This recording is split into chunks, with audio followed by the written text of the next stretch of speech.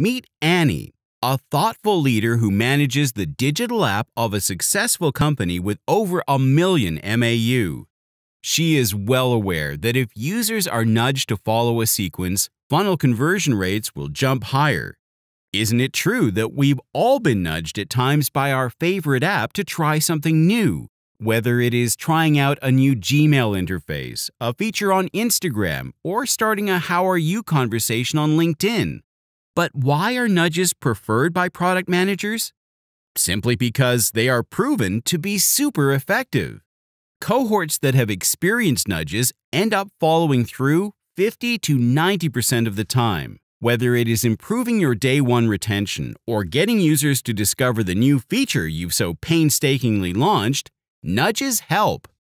Annie, on the other hand, shudders at the thought of going to the engineering team, creating a new build for the nudge sequence, and then releasing it after a month or so. However, there always seem to be more important product priorities than her experiments.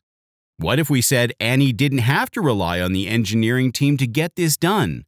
What if she could set up everything on her own, build it, test it, and launch it with no coding? Sounds crazy, right? But yes, it is possible.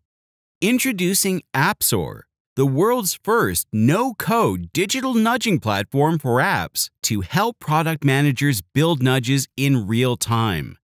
Now, Annie can decide on which features to highlight, pick suitable design templates, set up the context, schedule the nudge, and just launch it in under 10 minutes.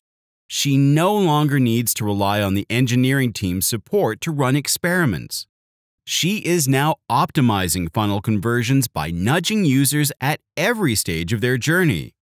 Her app is now in the hypergrowth stage, and she is proud to be the app's product manager. Apxor. Make your product a habit.